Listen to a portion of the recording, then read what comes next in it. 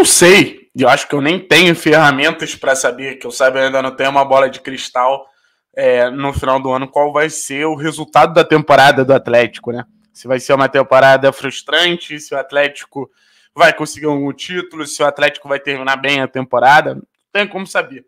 Mas o que eu sei é que até agora, e a gente está chegando, abrindo junho, né? Primeiro jogo de junho, uma das histórias mais legais que a gente vivencia é a história do Pablo, né? O Pablo, que, que na outra passagem, ele já foi um cara de, de muita superação, né?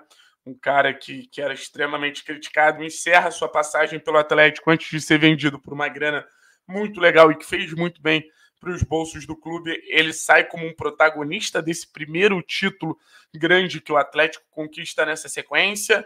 É extremamente questionado no São Paulo, volta buscando carinho.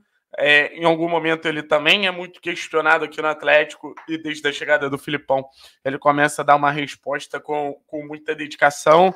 É um cara que recusou algumas propostas até melhores, mais vantajosas financeiramente para estar em outros clubes, né? No próprio Ceará, no Santos, que a gente vai enfrentar, era outro clube que, que tinha interesse no Pablo. Só que só que ele veio para o Atlético, acho que ele se sente muito em casa no Atlético. Eu valorizo muito no, no mundo do futebol hoje que, porra, é difícil você ver essa relação clube-jogador, você ter um cara que, que valoriza tanto seu clube, eu, eu dou muita moral, assim, sabe?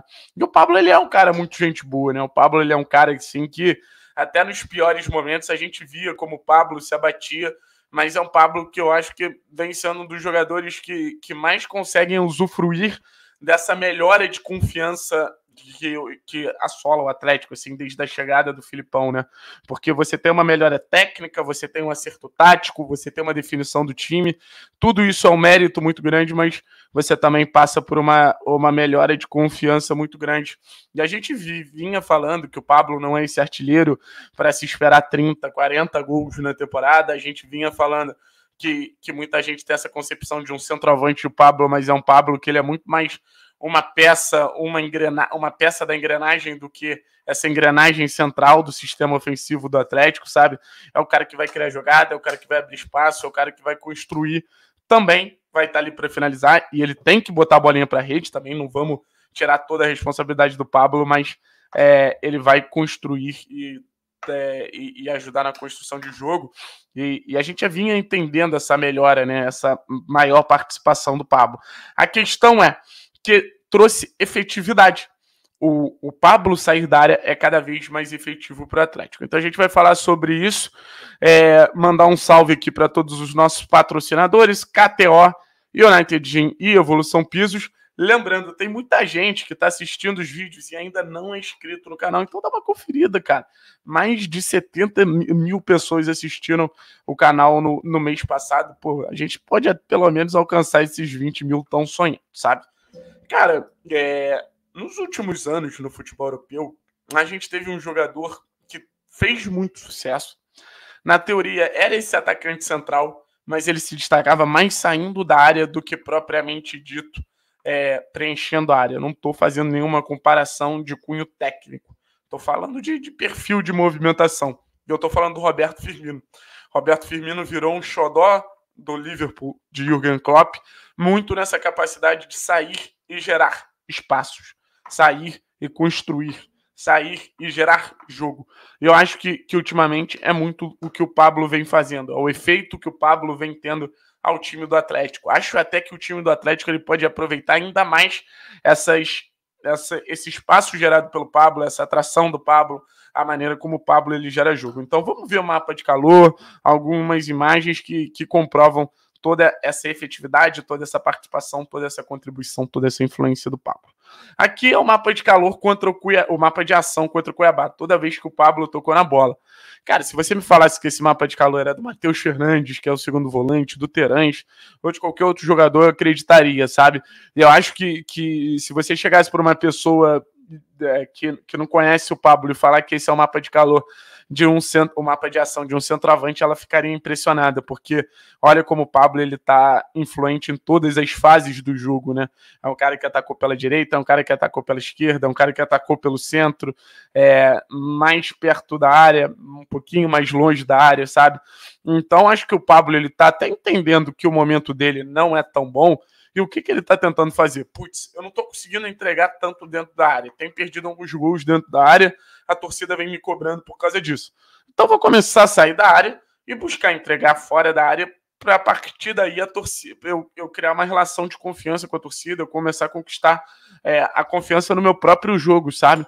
É, então acho, acho muito válido essa, essa busca por espaço do Pablo, essa busca por contribuir, sabe? É um cara que, que não fica acomodado. Em vários momentos a gente vê o centroavante em uma fase ali na área e o Pablo ele tem uma importância na área, né?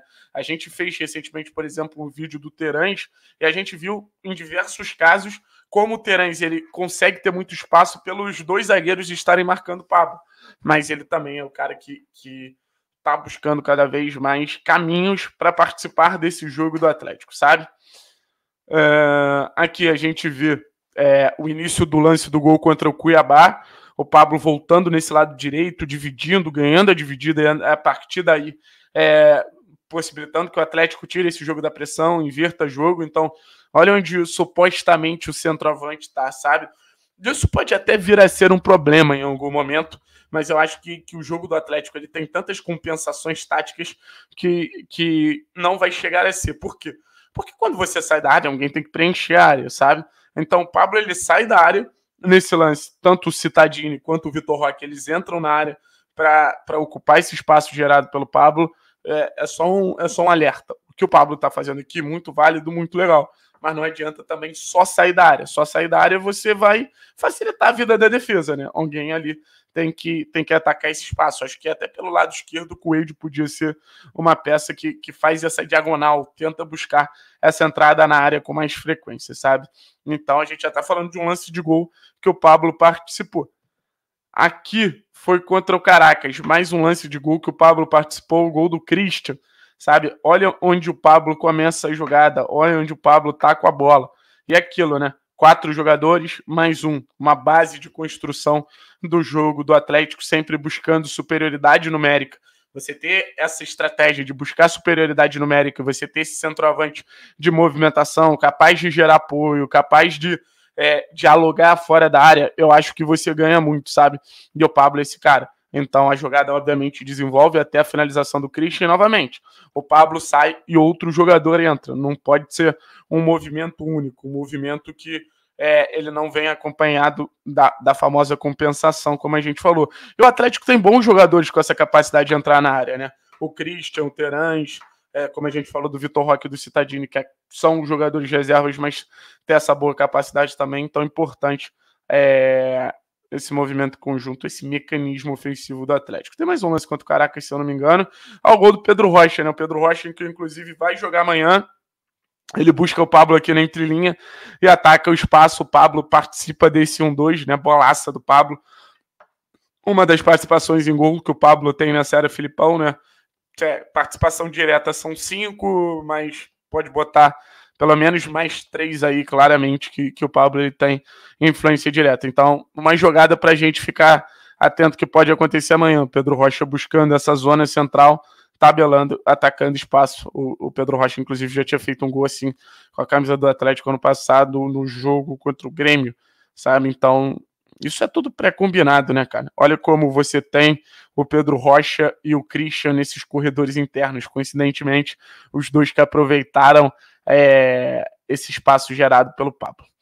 Contra o Havaí, teve essa chance, né? Que o Pablo ganha e bota o Coelho para para perder a chance, mas é, é uma chance gerada pelo Pablo a partir do momento que ele ganha dos dois defensores. E, e, teve uma finalização muito bonita contra o Havaí de fora da área, sabe? Quando o Pablo viveu aquele momento muito ruim, muita gente falou em dispensa, muita gente falou nisso, naquilo, e chegou um momento que o Pablo ele foi um problema ali, sabe? O Pablo ele dificultou a vida do Atlético na Libertadores. O Pablo perdeu gols que ele não poderia perder.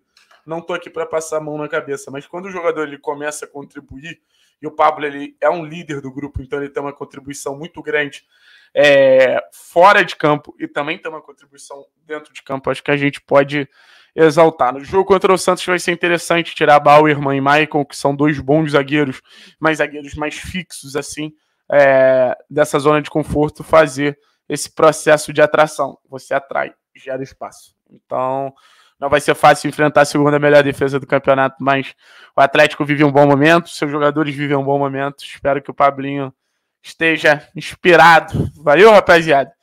Tamo junto, forte abraço. É